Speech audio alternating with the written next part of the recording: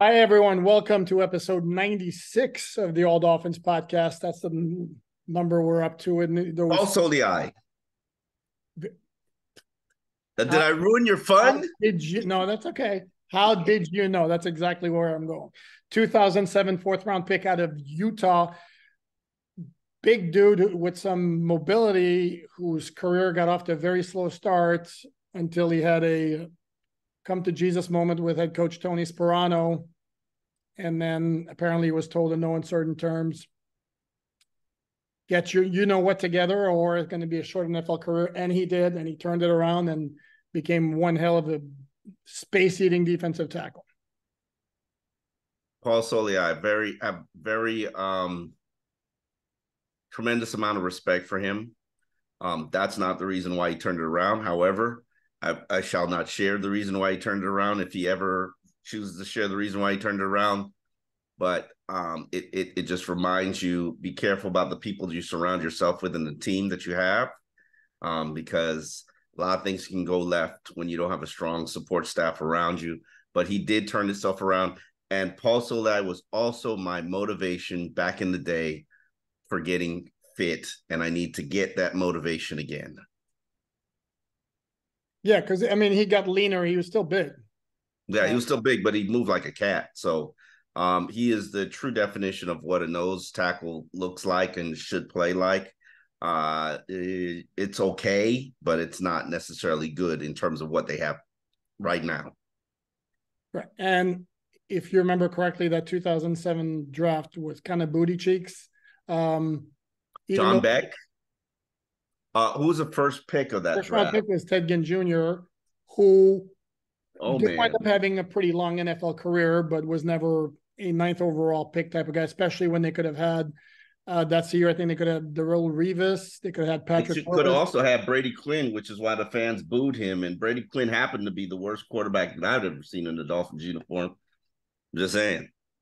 Um, and of course, we, could- we could mention the uh, we got to turn our turn our thumbs up this way.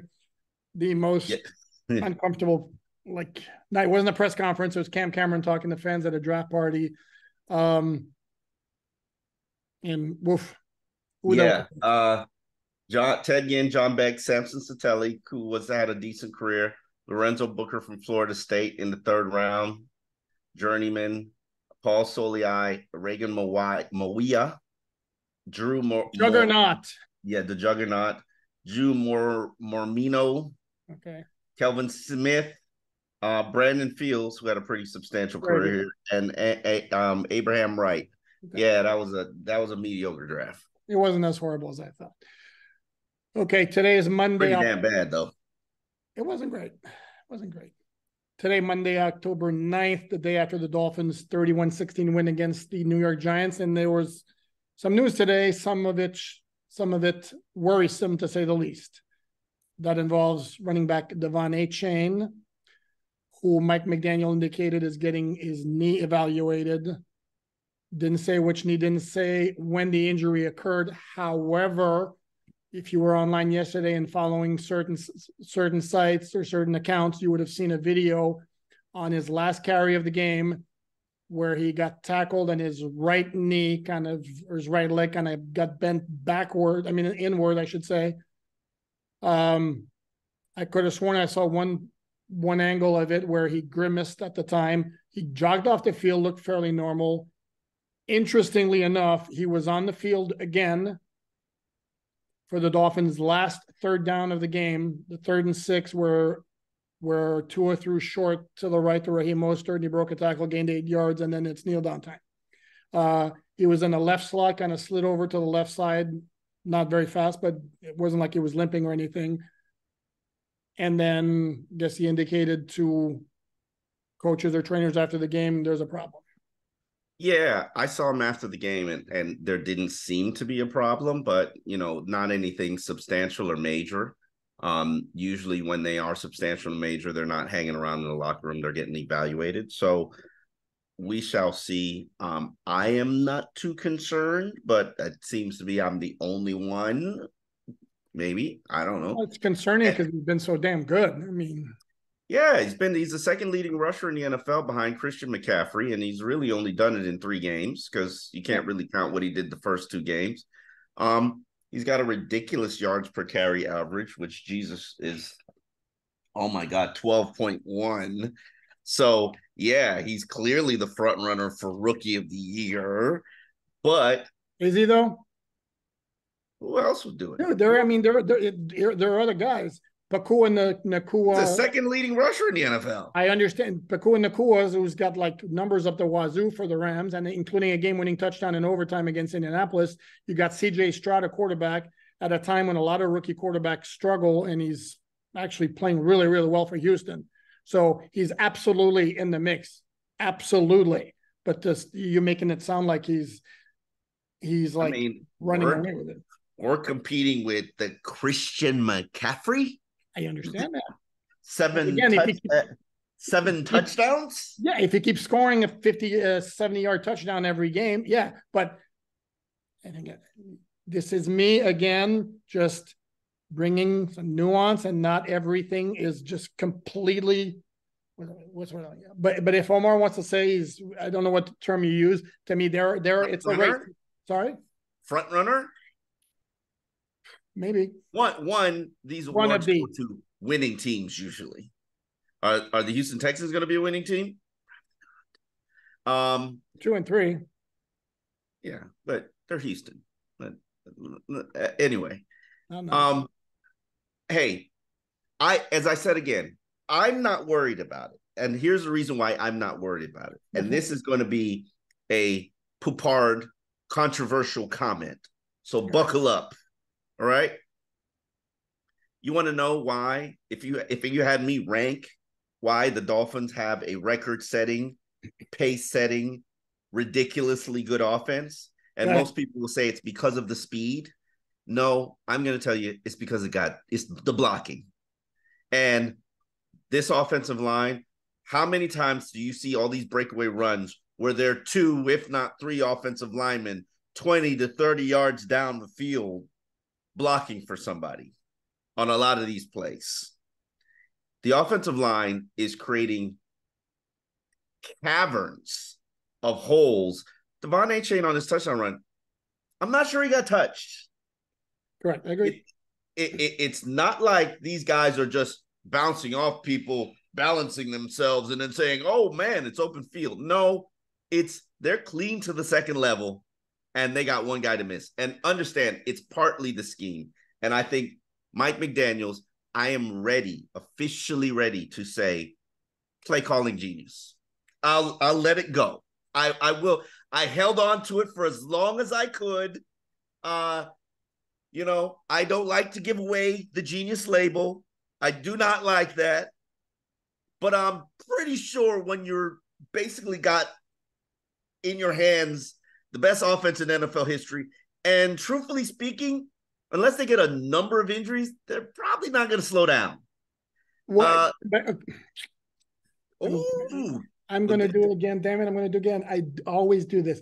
Let them get more than 400 yards against a respectable team before we go there. Oh, hold on. Wait a minute. Wait a minute.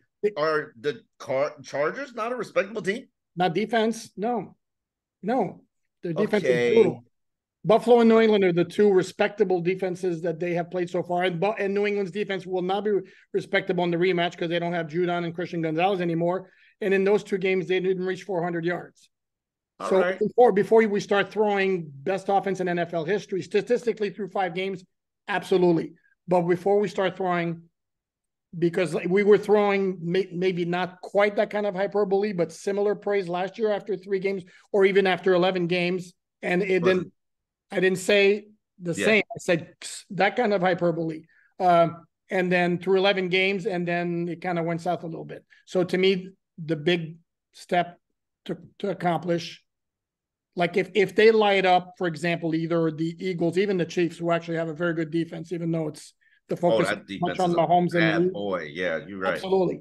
If they light up one of those two teams, then like by all means, let by all means go right ahead but that needs to be done. So, go ahead. But but McDaniel cannot have his genius label stripped. I've given it to him. Oh, I, I gave it. I gave it to him before you did, I believe. I yeah, I, I, was not willing to. The hater over here, the hater over here was like all over. Yeah, uh, the, the, the, way the way they stretch teams vertically, and then okay, you're gonna play me vertically. Okay, I stretch you horizontally. Which way do you want me to stretch you? I could go this way. I could go this way. It's masterful, but it's and, part. Go ahead. No, I was gonna say it's part of everything working like this everything, and that includes to what quarterback, it includes the offensive line, the receivers, the tight ends, is part of the offensive line's abilities that they got. You got guys who can move, and mm-hmm. you talk about like the first play of the game, the end around to Achane where you got offensive lineman seven yards downfield and he doesn't get touched until he reaches the second level. Well, the, the the play fake moved a couple of Giants players the wrong way. That opens up the field, and you got the the speedy, the mo- very mobile offensive line getting on in space, and Achane speed does the rest. It's like it's this is all working in is, This is like the evolution. It's like the marriage of the RPO offense and the West Coast offense, and it's taking it to a new level and new heights, and you could tell defensive coordinators like, holy crap, like you know um who was the defensive coordinator last week who was like, Yeah, just keep me waking me up like a baby every two oh, hours. Wink Martindale. Yeah. And you know, I don't think he was exaggerating because it's a lot. It's it's really truly a lot. Oh, absolutely. No, I... and to handle their misdirections, to handle you know a lot of their packages where it was going deep, it's max protection. It's like you can you you you you can pick your poison, but you can't take everything. Like and even even their their fast package or whatever you wants to call it. Um Fast 21. Fast 21, where they've got Raheem and Achane and uh and and Hill and Waddle on the field together um with either yeah with with Durham you know oh like what, what do you what, what do you do with that yeah, like it's a lot of a lot of guys to look at. Um, but yeah, that to me is like losing because again, Achane gives you like he's another home run guy, and when on a team with plenty of home run guys, so it's not like they're they're, they're going to be lacking speed if somehow he has to go on the shelf for a while. But again, having yeah. just one more of those guys just makes that offense. Oh wait, hold on. Let, let, and and we will address the fact that Jeff Wilson is coming off IR. He's probably going to be practicing for a couple weeks before he's actually eventually cleared to play. And let's not forget that Jeff Wilson was the number two back on this team. But there was Salvon Ahmed, who, you know, despite what fans want to say, and please address that, please. Go uh, fans want to say how ridiculous of us to even compare Salvon Ahmed to De'Von Achane. Um, and De'Von says, my teammates say we look alike. The only way they tell us apart on coach's film is our shoes. So trust me, Salvon can get it done too, can get busy too.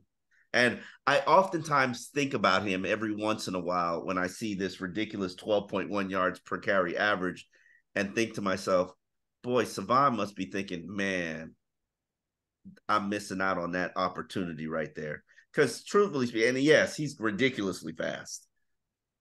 At, but can we not pretend like he's not seven yards downfield before somebody even has the chance to touch him? Well, agree. And every running back would love that opportunity.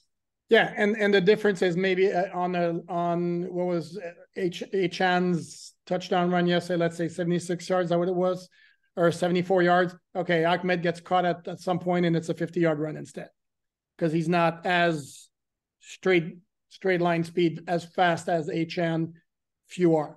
Um, but it's not like a, like Ahmed wouldn't be able to do similar things. I don't know. I want to be careful how I phrase things because some people get under feelings very, very easily. Oh no, no, no, no. We're we're disrespecting him. So you know, hey, yeah, correct. It, it, it, it, and every honestly, and this is where I say the offensive line, they deserve the majority of the credit. One, they came into the season as the weakest link on the team. Not having to run on Armstead, Isaiah Wynn has handled his business. Gave up a sack last gave up a sack last Sunday. He did? Mm-hmm. To I mean, last Sunday against Buffalo or yesterday? yesterday. Uh, uh, Kendall Lamm's the one who got beat on the sack. Yeah, last I'm saying last Sunday, meaning the one that just passed. That just That was happened. Ken, that was Kendall Lamm who got beat up for the sack. yeah. Who did I say it was? You said Isaiah Wynn. Oh man, I'm sorry. I mean Kendall Lamm. Yeah, Yeah. no, my bad. Um, That's all right. um, and you know, with the exception of one guy, everybody's performing pretty well on the offensive line. Um, so the end, What guy, who, what guy's not performing well on the offensive line? the one that, Who was a backup for one game? yeah, Oh, Yeah. man, harsh, dude, harsh. I- did he perform well? But he's a, but he's a backup. I mean, I know. I said everybody's performing well except for one guy. Okay. Where's the lie? Where's the lie? all the starters have been, have been performing well. You couldn't have said it like that. All the starters have been performing well. Well, backups are important people because they matter, and your offensive line is only as good as your weakest link. Where's the lie? That's some deep stuff right there. It, it, is it the truth? Um. Okay. But I'm more. I'm more of everything's working together like a machine. That's everything is working together as a machine and it, it it begins in practice um you know we don't get to watch all of it anymore but um I, I i just i was thinking back to the days when people were like oh in training camp this offense isn't looking good oh my god this offense is struggling and i you know and i'm not bragging about it but i looked at it as okay they're experimenting with a lot of things they're trying to figure out what can work what and truthfully speaking, we didn't see as much motion as we're seeing now. So right. that was that's just that's just each week preparation for the opponent. And I think and what I've always found interesting is Mike McDaniel always comes in and he says they did nothing of what we expected them to do, but our guys adjusted and figured it out. And I'm like, all right, cool.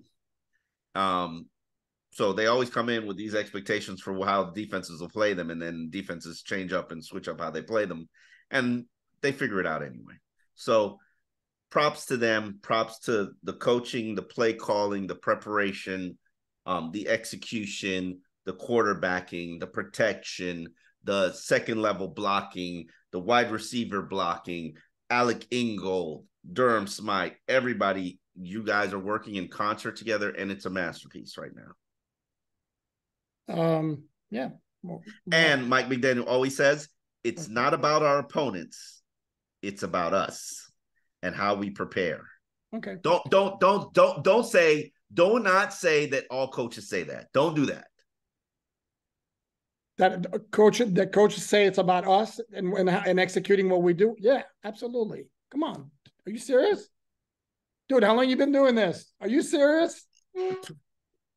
Come on, No. come on now, come on. Brian Flores never said it. Adam Gase never said it. Oh, absolutely, he said it. Uh, going back to train. Come on. Um, going back to, to, to training camp and the, and the offense not looking the same. Here's the other thing too is training camp. They're not going. They're not going as fast as they're going now. That makes a big difference too. Because in training camp, also the the idea is you focus more on getting the things right. Once the regular season start starts, it's you're getting the things right and you're doing it fast it's both and that's when that's when it makes a difference and that's when also you see that that stupid speed the dolphins have really come into play as you're giving me the tilted head like i said something crazy are you still are you still not, that i question your it's not it's not a, about the defense it's about us i mean it's No, no, no. It's not it's not about the opponent. It's correct about- it's, that's pure coach speak pure coach speak okay uh you mentioned jeff wilson jr the the yeah there was a um, report from uh Josh Mosier. and Josh Mosier from, from Drew Rosenhaus that he's expecting to be cleared for practice this week. Uh, Robert Starting Jones, Needham, window. correct. Robert Jones, Nick Needham are going to start their second week, and Mike McDaniel said there were no setbacks after their first week last, the first week of practice last week. Maybe they're back. Um, I watched both of them last week. They're not close. Okay, they're not close. Do you make? Are, are you?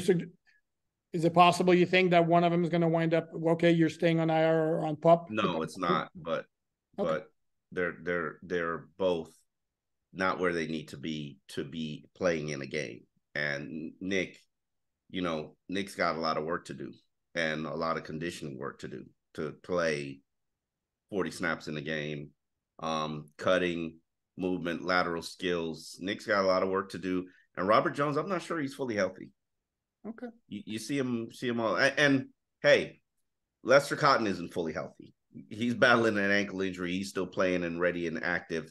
Um, I I would love to have Robert Jones active because to me, in my opinion, um, and this is no slander on anybody else, but now he becomes the sixth offensive lineman. You're calculating. Uh, sorry. I said you're calculating in your head. Well, I'm I'm thinking. Well, uh, outside of Kendall Lamm. Well, okay, that's that's what I'm. No, I don't. I agree. I agree with you. Um, now I was I, I had something in my head. I told you. Oh, here and here's the thing to me. And as you mentioned that to me, it's a lot more significant to get Robert Jones back than Nick Needham. No offense to superstar. And I'll explain, and I'll explain why. And I'll explain why.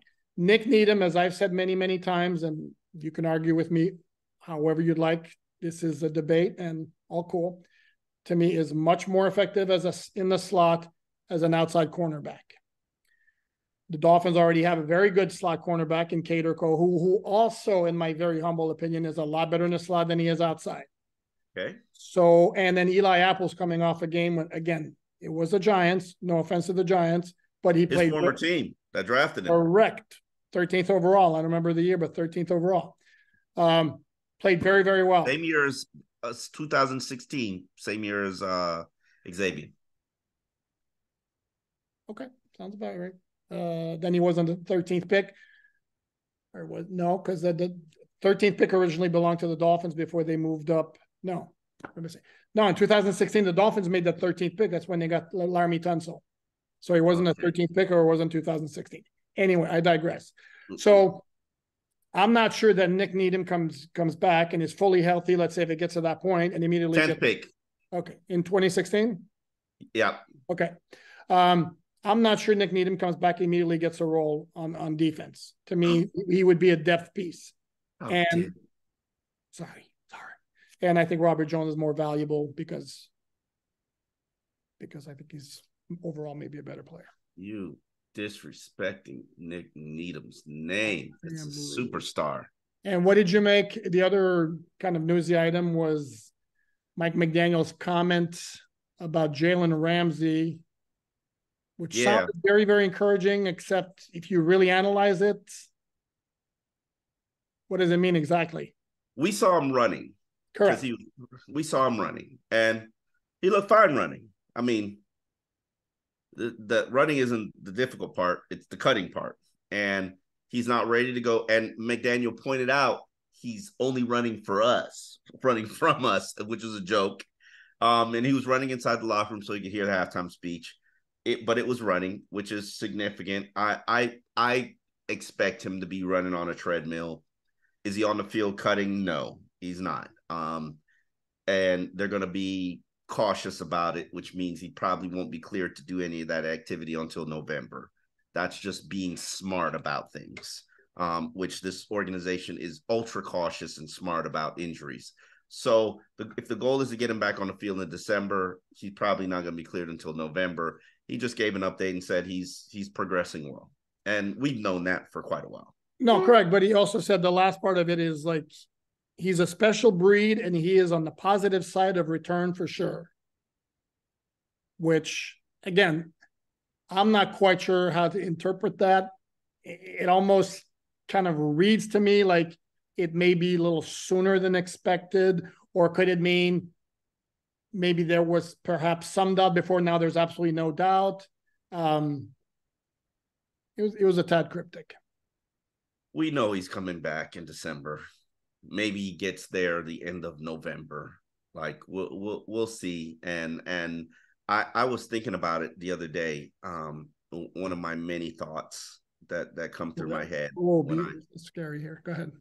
yeah. Well, when when I think about think about the team and think about all the things that they can actually do when Jalen Ramsey comes back, and I know it's you know Vic Fangio's dream and and uh, and all these things, and and they will be if Jalen Ramsey's back at 80%, they will be a much better team just because uh that happened that third cornerback spot happens to be one of their one of their weaknesses one one of their soft spots in on their team. So let's hope that Jalen Ramsey doesn't suffer a setback continues to progress and let's also not rush him back because that that that could lead to a setback. And if we're going to be fair when it comes to the third cornerback play the, that outside cornerback opposite X the better the pass rush the easier the job is oh yeah and oh yeah, was great yesterday. And I mean, the Dolphins completely took advantage of that Giants offense. I don't own. I don't. I don't. Mm-mm. Like everybody wants. Everybody wants these pats on the back for pass rush and seven sacks and all these pressure, QB hits and pressures against a practice squad line. No, you cannot get a pat on the back for that. You dude, you, you can get a. You, they can get it I can't. Why are you so? Why are you so resistant to give praise, Omar? That's really. I'm kidding. Um, again, no. for that no. particular game, what more could they have done against? Again, they they they were given a favorable matchup and they took advantage of it. This is what they were supposed to do yesterday. Now, the, obviously, they need to do it against a better offensive line. We're not saying it's a good pass rush just because of what happened yesterday, but for that particular game, it produced what what what amazed me about that game when I, I noticed this rewatching the game, more twisting and stunting. Like the whole season, I've been like, where are the twists and the stunts? Where where's the games on the defensive line? And I don't see them. And okay, you do it against a team that's just piss poor offensive line wise. Why don't you do it against a real team? Make things a little bit more complicated as opposed to these head on blocks that you're yeah. taking on but that you got to defeat. And I, you know, we shall see. We it, shall. may it may be that they figured they'll get picked up because there are there are a couple of examples, and it's like the Giants O linemen were like clueless. Oh, oh guys are, are twisting. Who am I supposed to pick up now? Oh, okay, you got him. No, no you got him. Oh, there he goes. Um, pretty of, much. I mean, yeah, yeah. The, and and the Dolphins are very good at it, which is why why don't you do it? Correct. Like but this is what happens when you have a line that plays together for a while. I mean, generally speaking, the communication or the the knowledge of who you know switching guys is really uh, should not be rocket science for an offensive line. Speaking of rewatching the game, which I did as well, the second two interception, absolutely without question, his hand hit Connor Williams' helmet as he was pass blocking and pushed back by Dexter Lawrence, which is what caused the ball to float over Jaylen Waddle for the pick. So and you're then, calling Tua a liar? No, here's what I'm going to say because Tua after the the game said, I believe the quote was literally that no, I did, you know, my my my hand wasn't hit or something like that. Tua is a very, very, very good team leader. He's one of those guys who's going to spread the credit and he's going to take the blame. Right? And if he says, "Yeah, I hit my hand on on, on a helmet," then the, the attention is going to go to Connor Williams and why did Tua's hand hit his helmet, and that's going to bring some heat from the outside on Connor Williams. And Tua's like, "No need for that. I'll own it. I'll take it. No big deal." I can't speak for I, Tua on that one, but that's that's my and and not that he would admit to it, but that's my theory on that. But absolutely, his hand hit, hit Connor Williams' helmet. He's so honest. I can't believe that he would lie. But he also he's also as part of his growth as a player and his development as a quarterback. He takes responsibility. Takes for... more and more ownership, and like I said, he, he's become he's always deflecting credit and he's always taking blame when things go south. He took a little credit for the play that led to the touchdown. Uh, he's like, "Hey, hey, you could have just kept that to yourself, to it. Now we now we're calling our own plays." Like he wanted to be called a play calling genius. I mean, that was such a weird yeah, like and i'm still going to write about it and still going to address it because i think it's still it's part of the evolution of quarterbacks your coach, and and keep in mind, he says this all the time. He doesn't like Mike McDaniel's play calling. He always is. He always is like, yeah, even though I don't like the play, you know, we call it, we run it, and he's he's trying to set up. So he's admitted like sure he likes the results. Yeah, he's admitted so many times that he doesn't like the play that that was called, and hmm. I'm I'm saying to myself like, damn, are you challenging Mike? Like you think you can call plays better, and the Mike obviously feels that way, and, and Tua just basically he, he says he mis misheard him. Of course. that and then Mike McDaniel's basically like, is that the story we're telling?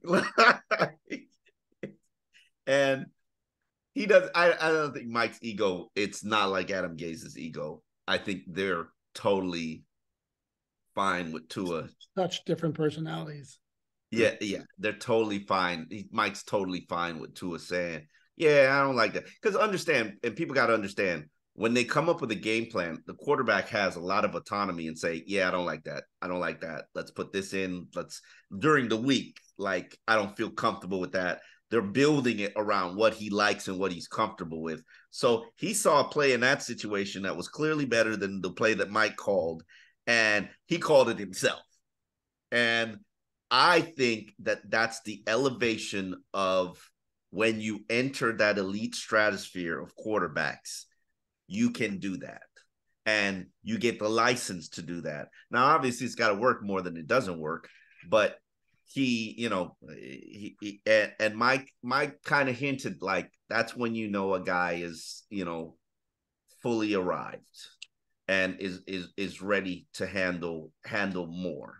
And I'm excited about what could be more. I mean, right now they're a pace setting offense.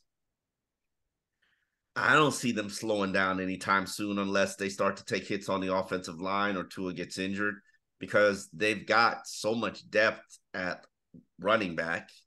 And I think they're okay at wide receiver, especially with the addition of Play Claypool, who I don't think plays for another three weeks.